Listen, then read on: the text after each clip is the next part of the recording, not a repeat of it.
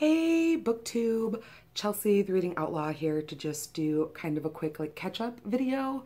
Uh, consider it a Friday reads, but a day early because I don't post on Fridays, or at least at the moment I don't post on Fridays. So yeah, it's been a while since I've touched in with you guys, but I feel like I haven't been consuming nearly as many books recently. I've kind of been, my focus has been on other media, mostly because I'm entering like holiday crafting season. So my hands are really busy. I'm like making a lot of things and doing a lot of things, starting to like plan a lot of stuff a couple months out because my niece is going to be with us for Thanksgiving this year, not Christmas. So we're doing it early and like it's a whole thing, but it basically means I have to put all of my kind of crafting and holiday gears in motion a little bit earlier than normal. So I've been like watching a lot of things. If you've been following me on Twitter, I've been doing a complete binge rewatch of all of the American Horror Story seasons, which I am loving. I just got to, it's not the current season, it's the most recent season before that. So American Horror Story Cult. Uh, it's really hard to watch, you guys. If you don't know, it literally opens with the election night in 2016 when Hillary Clinton lost and then goes forward from there and basically is, from what I can tell, I'm only like two episodes in because I had to stop, is about maybe a clown cult, but also like clowns that meets like a MAGA kind of thing. Evan Peters is playing this like blue haired, incelly kind of make America great again scum. I like can't even say the words out loud. But as a horror piece, it is functioning really effectively. Um, I'm really glad I kept on with this rewatch because in my first like experience of the series, I got really, really bored with Hotel. Hotel actually ended up having some of my favorite storylines ever.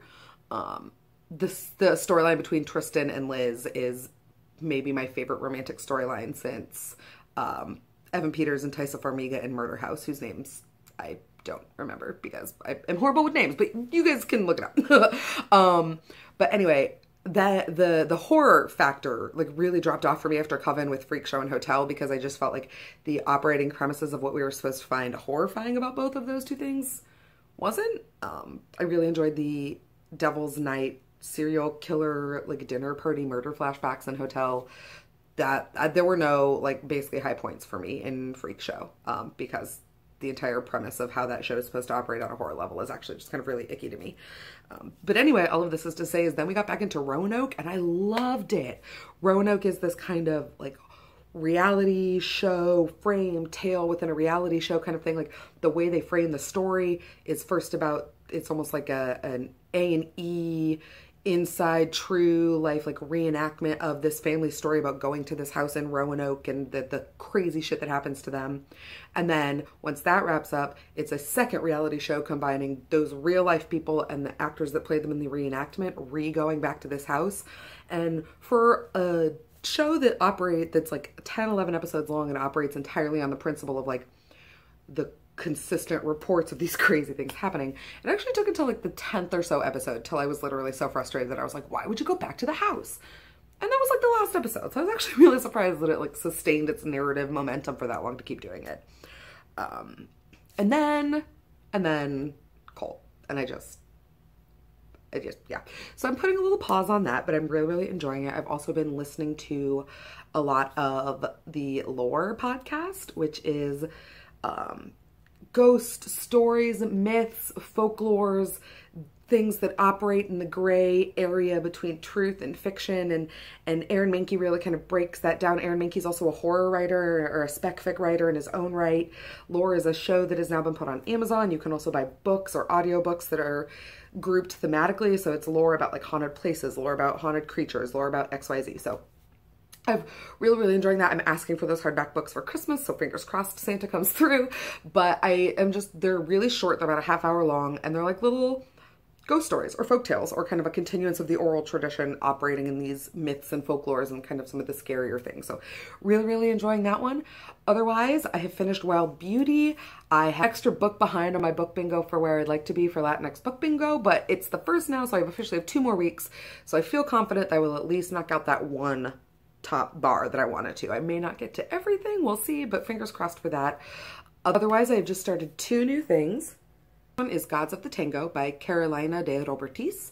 Uh, this was, I saw recommended on Adriana's channel, Perpetual Pages. I, I just knew that I absolutely had to pick it up. Adriana is one of my absolute go-tos anytime I want Latinx reps, especially Latinx queer rep, and this book is not disappointing, although I'm only about 15, 20 pages into it. The prose is gorgeous, and I'm really, really enjoying it. And I also started reading a nonfiction thing, which is always a little bit slower going but my good friend Jenny and my other good friend Ira both kind of stamped this book as being really, really interesting. And it's it's called Unbound, Transgender Men and the Remaking of Identity by Arlene Stein. This is another one that I literally have just started, so I'm just maybe like almost done with the introduction where she's laying out kind of the history of female to male transition and transness both in the United States and kind of globally. Obviously, it's a very, very compact uh, history looking basically at the surgical aspect of transitioning.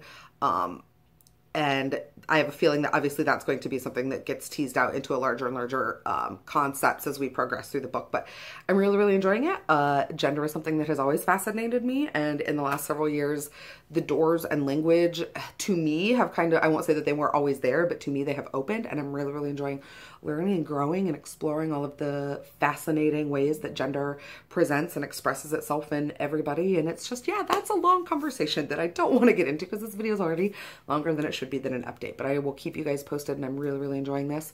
Otherwise, please let me know down below what you're reading, what you're enjoying, what you've been up to lately, just what media in general you're consuming. I know that not everybody uh, has the mental focus for books right now. If that is you, I understand. I want to know that I love you. I see you if you're going through a hard time. I know that these last couple weeks have been incredibly difficult.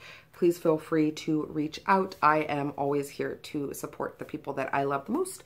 Otherwise, you can come and find me. All the social media is in the down bar. Take care of yourselves. Please take care of each other and have happy reading.